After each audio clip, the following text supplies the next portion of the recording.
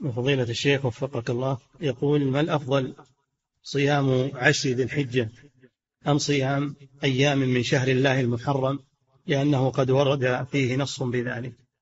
كلاهما كلاهما فيه فضل كلاهما فيه فضل كما ورد في الأحاديث.